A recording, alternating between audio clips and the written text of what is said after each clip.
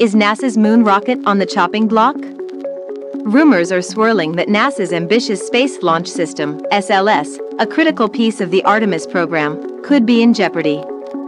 With Donald Trump's recent return to political prominence, whispers suggest the SLS might face cancellation as part of cost-cutting measures. But what does this mean for America's space ambitions, and can Elon Musk's SpaceX fill the gap? What's at stake? The SLS is more than just a rocket, it's NASA's centerpiece for returning astronauts to the moon for the first time since 1972. Artemis 3, the program's flagship mission, plans to send four astronauts aboard NASA's Orion capsule to lunar orbit. From there, two will transfer to SpaceX's Starship, descend to the moon's surface, and later return to Orion for the journey home. This intricate choreography is designed to make humanity's lunar exploration more sustainable. Despite delays in spacesuit designs, spacecraft upgrades, and infrastructure, the SLS itself has performed admirably, notably during the uncrewed Artemis I mission in 2022. Yet, critics point to its jaw-dropping costs, over $2 billion per launch, as a potential reason for its axing, enter SpaceX. The challenger, Elon Musk's SpaceX, with its fully reusable Starship, has dazzled space enthusiasts worldwide.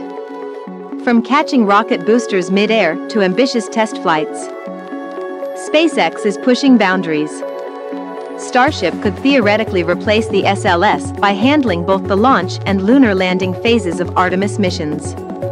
But there's a catch, Starship is still in its testing phase, with significant milestones, like in-space refueling and crewed lunar landings, yet to be achieved. The bigger picture, the space race, as NASA grapples with delays, China is steadily advancing its lunar program, aiming to land astronauts by 2030.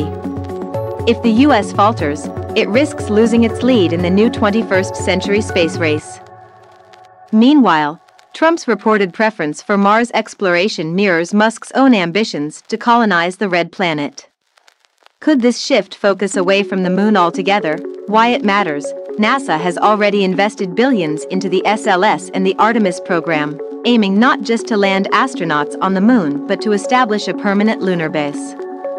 Canceling the SLS could mean reconfiguring plans and delaying U.S. lunar ambitions, potentially ceding ground to competitors. What's your take?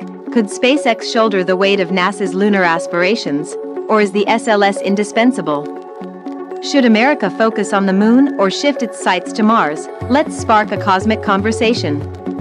Share your thoughts in the comments below. And don't forget to subscribe for more insights into the future of space exploration. Your engagement helps us keep exploring the universe together.